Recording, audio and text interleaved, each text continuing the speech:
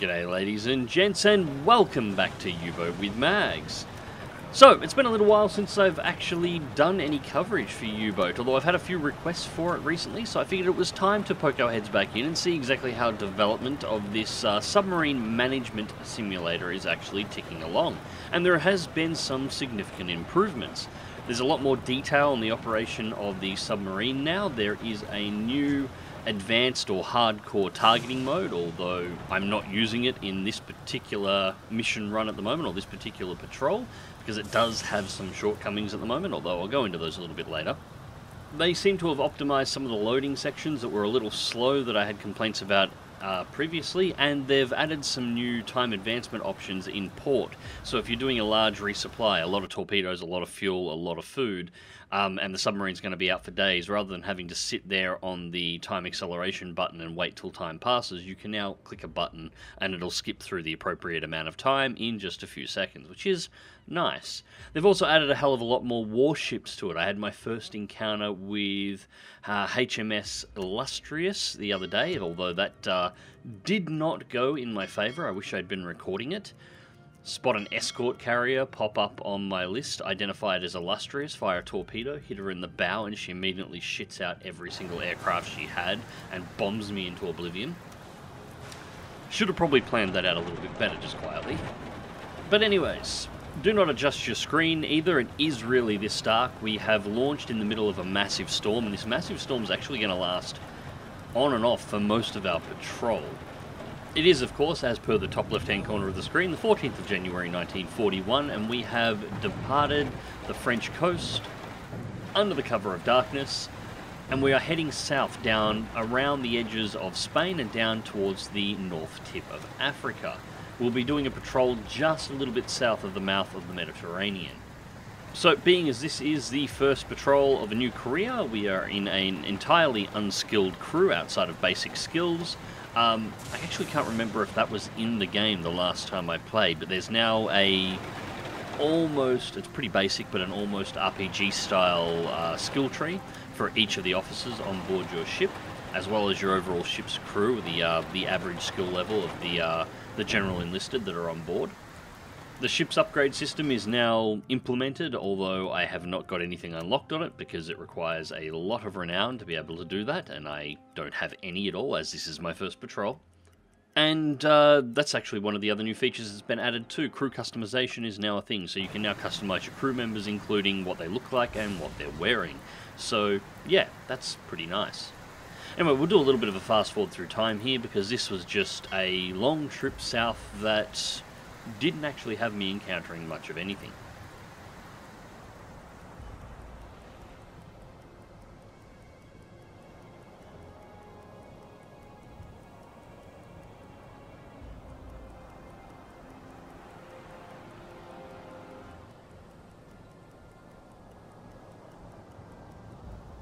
Alright, so we have freshly arrived at our patrol zone, and the first thing to do once we've actually arrived is to drop time acceleration and start getting our officers out of bed. For the most part, I've had them on a fairly relaxed rotation on the way down here, try and keep them as fresh as possible so that uh, whatever we encounter once we start our patrol, we have fresh officers ready to engage in combat. So the first thing to do is get our radio operator out of bed and get him checking the airwaves for messages. And as it turns out, yes, we do have a message that is in need of decoding. So while he's working over the Enigma device, it's just a good time to go over the rest of the ship and make sure everything else is in order. And basically it is. It's still nighttime. We've got some semi-rough seas. We are going to be encountering more storms, but the ship itself is in pretty good nick. Quick time acceleration to complete the message so I can see exactly what we've got. And what we have is mission orders to intercept a particular freighter that's not far from our zone. Now it's not inside of our patrol zone, it is just a little bit to the north of our position. So we're going to have to leave our patrol zone, head out, sink this transport and then come back. This is a little frustrating because it means that this particular mission we've just been issued will not add to our patrol time. So we are going to have to come back down, which means we're going to burn through more food and we're going to burn through more fuel. And to top it off, the transport is heading away from us, so we've got to chase it back. But that is what it is. Now, as I mentioned earlier on, there is a hardcore mode for targeting now, which I have also said that I'm not using in this particular uh, campaign. Why? Well, the long and short of it, without getting too much into the details, is it's not very good. The basic elements are all there that are needed. So you've got to work out the ship's speed, the ship's distance to you, the type of the ship, heading, and so on. That's perfectly fine. The problem is the tools that you are given in order to do it. There are key tools that you use when plotting an attack against an enemy ship from a submarine that are simply not available. The heading uh, indicator, for one, is not available. You've got to sort of hand calculate that. And another one is a stopwatch. And the stopwatch is available, but it's only available from the periscope view. It should also be available from the map view, but it's not. So if you want to use a stopwatch, you either have to use one in real life, or you've got to jump from the map view to the periscope view, use the stopwatch, jump out of the periscope view and back to the map view in order to be able to work out something that you should be able to do from the plotting table. That's what it's for. Now, I'm not being too critical here because it is early access and they've clearly made some additions here that weren't there previously, and I really did want manual targeting to be included. It's just not quite ready yet. There's definitely a hell of a lot more to it than there was when I first got access to U-Boat, but yeah, it just needs a little bit more time, which is something I said in the past too. U-Boat just needed a little bit more time. And a little bit more time has definitely made improvements, so a little bit more time, she'll be good. So for the moment, I'm just going to use the regular targeting systems, and I'll wait until the final version of the of the hardcore um, targeting mode they're calling it. It really should be just the simulated targeting mode, but if they want to go with hardcore with a name, that's fine. Um, but until the, the finished version of that is in, or until some mods are available that add in the extra tools that are missing and improve the interface for it a little bit as well. The interface for it's a bit shit, to be blunt. Anyways, we've just entered the area of influence of the ships that we are currently tracking. Now we've moved up and around the side and I've got myself an intercept and I'm using the storm at the moment. I can actually stay relatively exposed at this point because visibility is near zero in this storm. Now this makes it a pain in the ass for you guys to see what's actually going on, but it makes it a pain in the ass for the enemy ships to see what's going on as well, which is exactly what I'm working on at this point. I'm actually going to submerge the boat now, not because I'm worried about being detected, but because I want access to the hydrophone, and because I'm using the early form of the Type 7 at the moment with its first hydrophone. The microphones for the hydrophone are actually on the top of the deck, so I need to submerge the boat in order to be able to actually hear what's going on. And the hydrophones can pick up a lot further, as you can see, than the officers on watch or the periscope can pick up. So I'm going to use the hydrophones to plot the attack. Now, the position of the fleet wasn't exactly where I thought it would be. I thought I was getting a really sneaky approach here up onto the side. Unfortunately, they were further ahead than I originally thought. Now, I start plotting an attack solution here, but I I'm sort of skeptical about actually doing it. I've got to be submerged to have maximum range on the hydrophone, but I've got to go faster than I currently am in order to be able to close on the targets, otherwise this is going to be a rearward shot against the target moving away, and this is not good. Unfortunately, the faster I move, the more noise I make. The more noise I make, the shorter the detection range of the hydrophone, which means I need to be able to get closer in order to be able to plot that same solution. And as you can see, I'm not closing on them at this time. So I do follow them here for a little bit, just to see what's going on.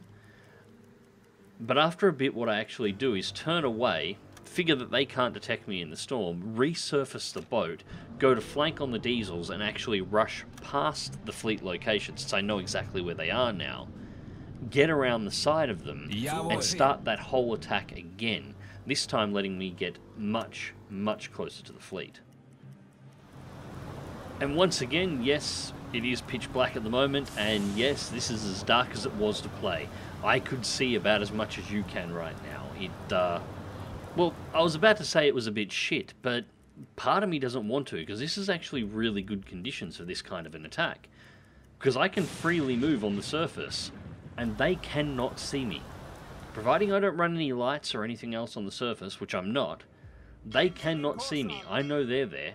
They don't know I'm here. The ambient noise on the surface as well. If there were any ships in the group that had hydrophone, hydrophones, their hydrophones would be affected by the noise of their own ships traveling and the surface waves that they can't avoid because they can't submerge. But I'm almost far enough ahead at this point. I'm just letting time accelerate a little bit further because I want to make sure I've got enough that I can submerge the boat, go quiet, so down to speed setting 1 or 2, and then cut back across and not have them get past. I want to make sure I'm in optimal position for the point of the attack. And that's about now. I should be able to submerge the boat at this point, although I'm going to cut across a little bit using time acceleration before that, and then be able to lurk and wait. And that should give me ample time to be able to get solutions on all the targets to set up my attack. The exact number of boats is still unknown. There's at least three in the group, but I'm not 100% sure. Alright, so just double checking to make sure everything is all set and a quick look on the surface and as you can see visibility is just nothing. There's just nothing. Nothing except the small amount of light you get every time the lightning flashes, which is a really nice effect. I actually like the storm effects. It's not great for YouTube type stuff, but it is really nice to play in. And submerging the boat. Exactly the same reason as last time. The periscope is functionally worthless at this point, but the hydrophones will be very, very useful. So get this boat underwater, get the radio operator over to the hydrophone station. I should have probably had him uh, resting, although he's not too bad at this point. At the moment, the radio operator is the only crew member I have that can man the radio and command the hydrophones. As I said, there's a sort of simple RPG mechanic around your officers where they earn XP over time and you can give them new skills. I believe I can actually train some additional officers in using those systems at a later time. So the longer you can keep your U-boat alive and keep your crew alive and get them more XP and more training, performing better and better in missions, you will eventually get them to the point where they can learn to man other stations and then have multiple crew members that you can jump back and forth in between in order to keep the systems active at all times, as well as obviously improving the skill of those that are dedicated to those stations so they can see further and detect ships further, identify ships better, um, get targeting solutions on ships at a higher speed, and so on. So we're calculating for our first target. Now, the only downside of using the hydrophones is I cannot identify which one of these ships, and there are three in this group, is the actual target.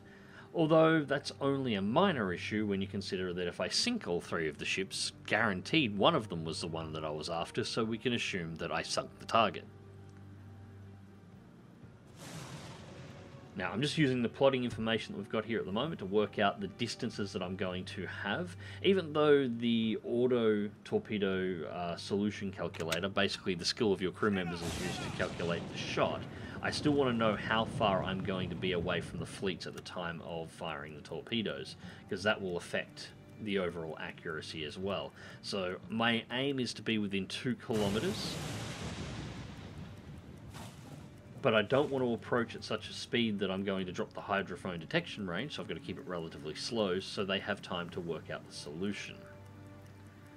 And I need to develop solutions for at least two of the three ships.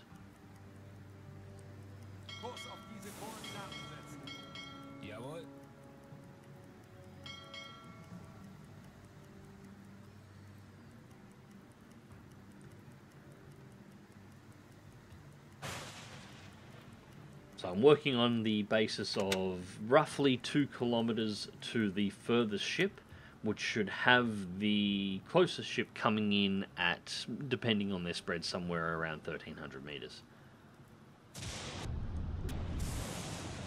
Yeah, maybe less, depending on the angle that they're traveling at.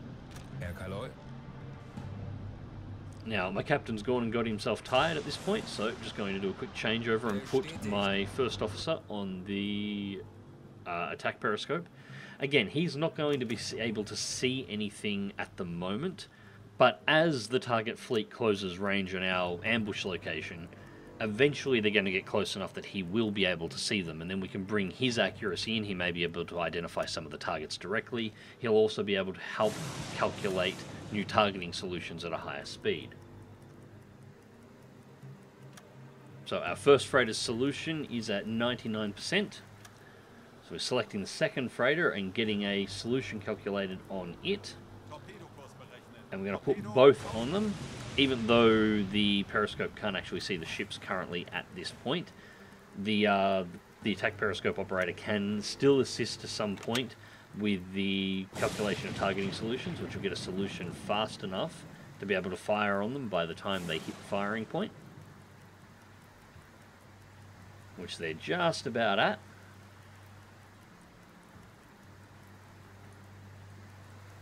Ninety-seven percent, ninety-eight.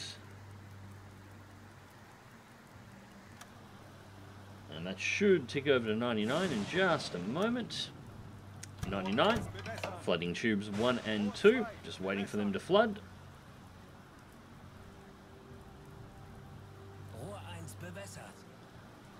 And firing tubes 1 and 2.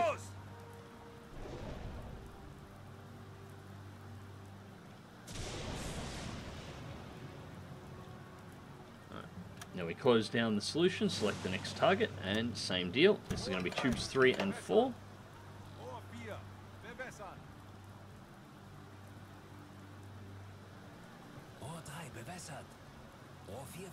And tubes 3 and 4 away. Alright, so now we've got to reload all the tubes before we can get another attack off, but that only leaves one ship remaining. Now, it's going to be aware, obviously, but that's less of an issue. So, the first thing we need is to actually get the uh, get the torpedo tubes loaded. Now, this take this makes a lot of noise, obviously. Anything with a hydrophone would be able to hear us, although in this storm we would be fairly covered. Um, I'm not too worried about these ships. They've got no escorts. They're unlikely to have hydrophones. They probably don't even have deck defenses at this point. Der Torpedo ist auf halbem Weg zum Ziel. Now you can obviously do all of this via the attack periscope, but um, yeah, I'm getting the indicators to lock on at the moment because I've already got targeting solutions programmed for them. But you can see there's zero visibility out of this periscope. 40 Sekunden bis Torpedoeinschlag.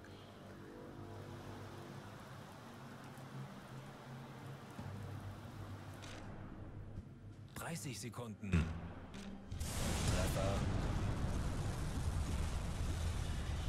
Now, I was trying to give you a view of the explosions, but I wasn't able to on that one.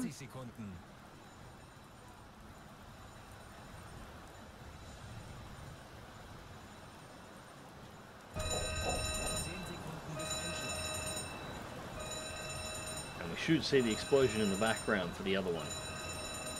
There we go.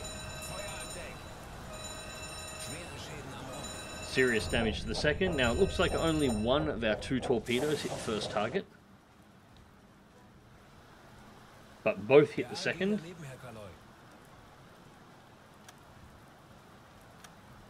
And I'm starting my calculations for our third target and that's the second target sinking. So the second ship we hit, the furthest one from our firing location, has taken crippling damage and is sinking. The closest did take a hit, but it didn't take much damage overall. It's unlikely to be sinking. It may have taken on water. It may be a little bit slower.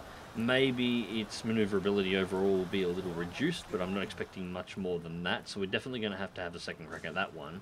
The third ship is of course completely undamaged at this point and is going to go evasive and you can see it's already starting to make its turns to avoid our potential torpedo attacks. Time acceleration again is just to give my crew members time to calculate the solution for the next shot.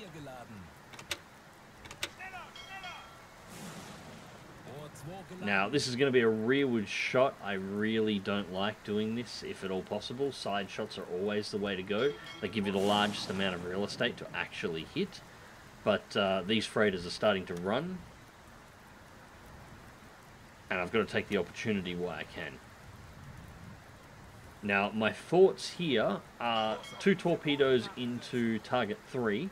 If we can get rid of target 3, I can put one additional torpedo into the rear of our first target. If that doesn't work, we can actually surface and use the deck gun. So we're shooting for target B here at the moment. And tubes flooded, torpedo away. Or torpedoes, rather.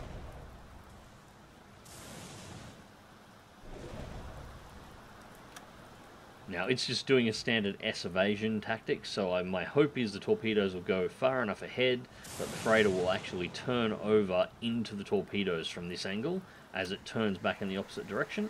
Der Torpedo ist auf halbem Weg zum Ziel. 40 Sekunden bis Torpedoeinschlag. And I've remembered I've got the button here that I can actually go straight to the target and see what's going on.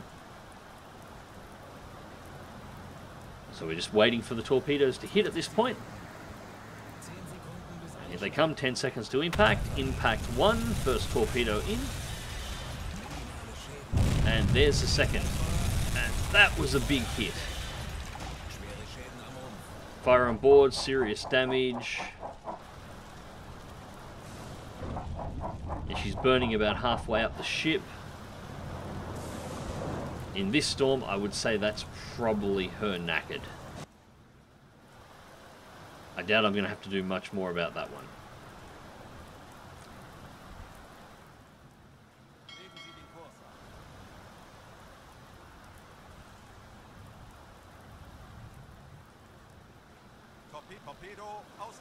Now, at this point, I was toying with the idea of doing exactly the same thing to target A, but the problem is we're almost directly behind target A. Where I had a little bit of an angle to work with on our second target, or technically third target, so that she might make the turn back into the torpedoes, which is what I was looking for when I fired. Target A, on the other hand, shot directly from the rear, it's just snaking back and forth. That's not what we're after. And we've got the question mark pop up on our third ship. And she has sunk. So now there's just one ship remaining. Now, according to our missions log up on the top right hand corner, we've actually sunk the target that we needed to hit, but we've come over all this way. I don't really want to let this last ship go. So, flooding tubes 3 and 4. I was gonna let this salvo off, but I sort of second guess myself a little bit here. I don't have a huge stock of torpedoes on board this Type 7, so rather than letting both go, deflood Tube 4, just fire Tube 3, one torpedo. We've already hit her once. If this torpedo lands, even though this is a really crappy angle to shoot from, we should be right. That should be enough to sink her. If not, we don't want to waste more torpedoes on a bad shot. 30 Sekunden. 20 Sekunden.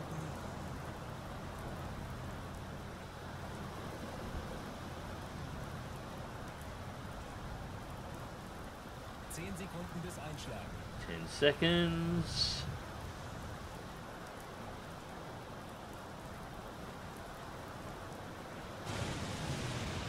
And we have no boom. Torpedo is missed, just like I thought it might. So that was a wasted torpedo. We don't want to waste any more. We've got enough to have, do one full reload of the forward tubes plus two, and that's all we've got left. So six torpedoes remaining in total, not counting the two that we have in tube five, which is the stern tube. But we don't have to use the torpedoes. The freighter's on its own, it's unarmed, and it's damaged. Time to surface the boat.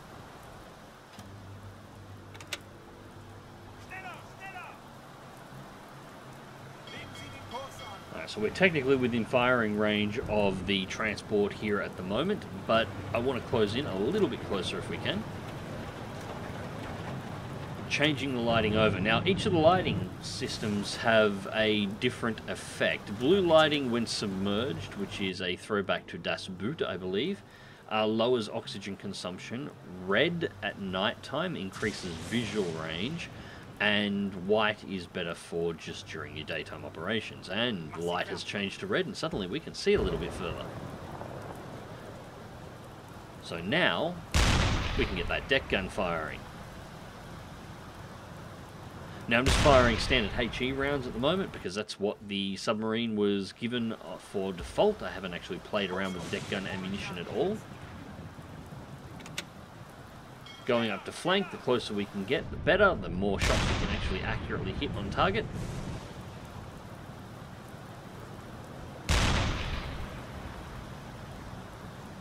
Now you can manually control the gun as well. Um, I'm not going to do that, not because there's anything particularly wrong with the interface for it. I'm just really shit at aiming. So I'm going to let the crew handle that one.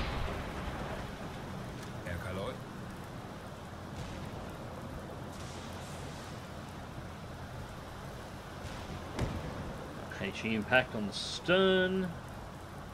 Needs to shoot a little bit further up. That's what we wanted to see. Penetration to the side of the ship, likely around when we hit it with the torpedo in our first attack. And it's lit something under the decks on fire. And finally we have some light to actually be able to see what the hell is going on.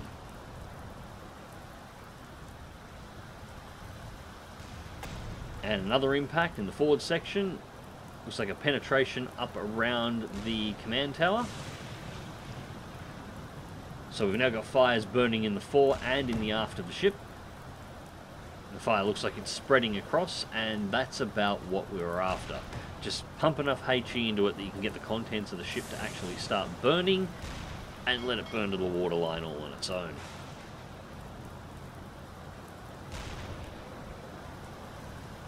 And I think that one is pretty much done. She's still floating, but she's pretty much burned to a crisp.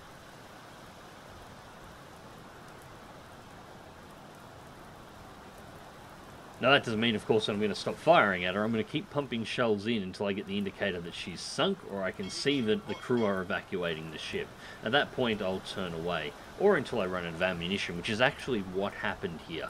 I continually fired the deck gun until there was nothing left to shoot. Now, it did take about five or ten minutes, but sure enough, eventually the crew abandoned ship and she started to go down. So at that point, it was time to turn back south and head back to our patrol area. But unbeknownst to me at the time, that was actually pretty much the end of our patrol. I entered the patrol area and did the 2,000 kilometers that we had to do inside of it and did not encounter a single ship, nor did I receive a single mission from headquarters to achieve while we were down there. So once the 2,000 kilometers was up, it was simply time to sail back to base, resupply the ship, and request new orders. So anyways, ladies and gents, I hope you enjoyed the video, and thank you very much for watching uh, this first patrol in U-Boat. On, I'm actually not entirely sure what the update number is off the top of my head right now, but it is the latest version as of the release of this video. So overall, the game has not been sitting around, the developers have definitely done some work on this, and the improvements are very good. The game's more stable, I've had no problems with crashes, I've had no problems with corrupted save games like I have in the past. The AI can still do stupid shit every now and again, although it does appear to be more intelligent than it was previously.